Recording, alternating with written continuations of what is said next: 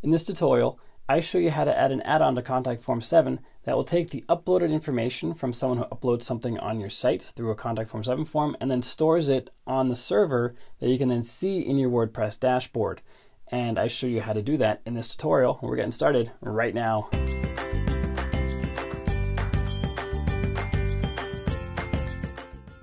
Hey, what's up guys? Welcome back to another video. It's Bjorn from WP Learning Lab, where we are all about WordPress.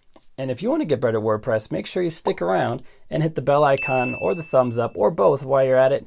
And with that out of the way, let's head into the screen capture. The first thing we want to do is install a plugin, and it's called Contact Form 7 Submissions. So go to Plugins and Add New, and type in Contact Form 7 Submissions. The one we want is this third one, third one if you count this way, and then second one if you go from top to bottom. By the way, by Jason Green, 40,000 installs, untested with the current version. That's kind of uh, sketchy, but I just updated two days ago. Um, anyway, probably should get on that. But if you're concerned about that, you can back up your site files and your database before you do this with a tutorial linked to up above called Updraft Plus. Or you can try this on a testing environment first. I'm just going to install it right here on my demo site by clicking Install Now and then Activate. And the Submissions plugin added a new menu item under Contact and then Submissions. Click on there and we're going to see, not much is here yet. It is pulling something up, not sure why, but this is probably sent a long time ago.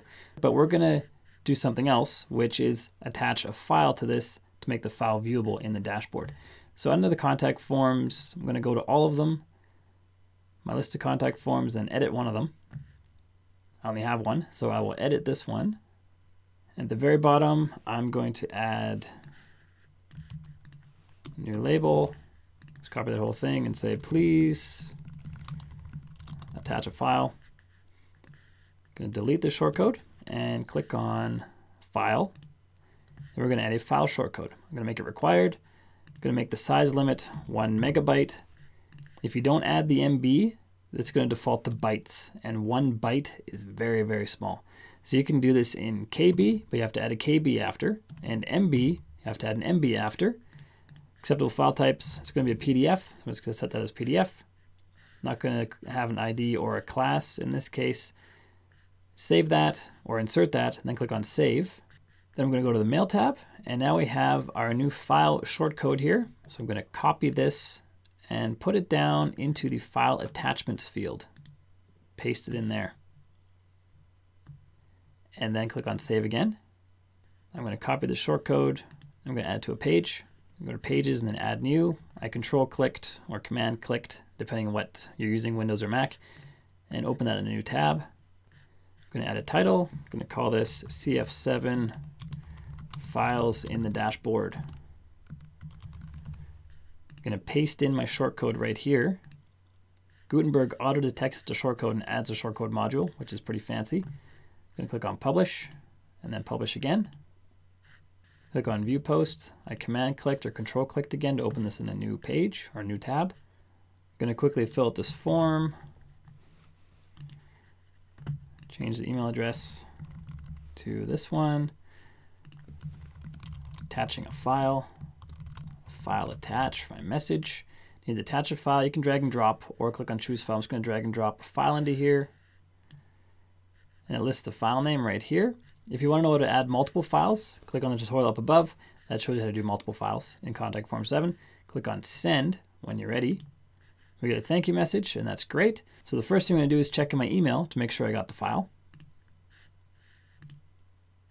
So here's the email message, attaching a file as a subject, and here's the file we attached. So that worked. It's in the email.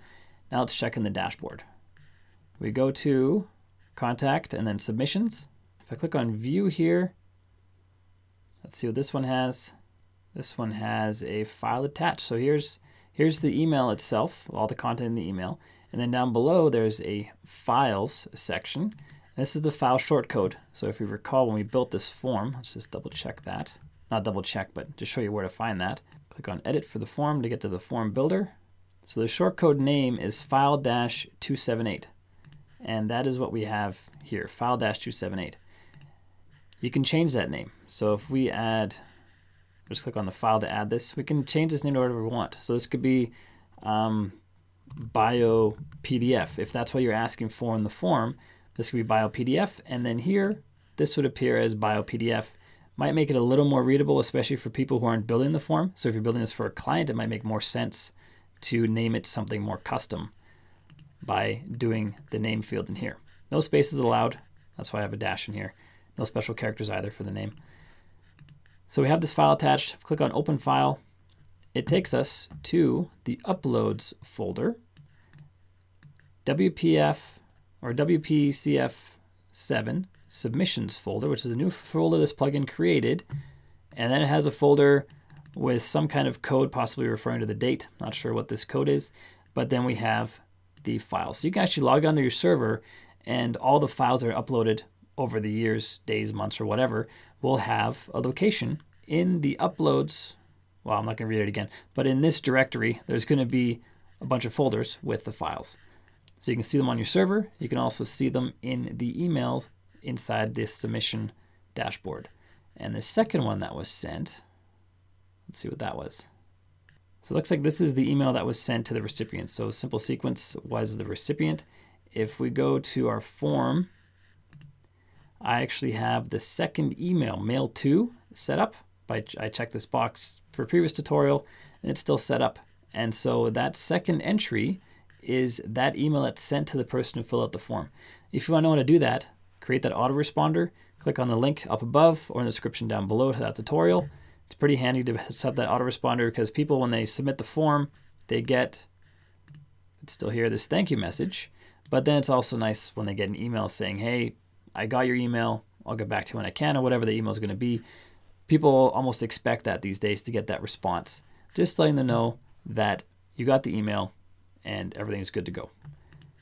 And that is how we add attachments to our forms and then view them inside the WordPress dashboard. And we also get them via email, as we saw as well right here. So that's how it works. I hope this video helps you.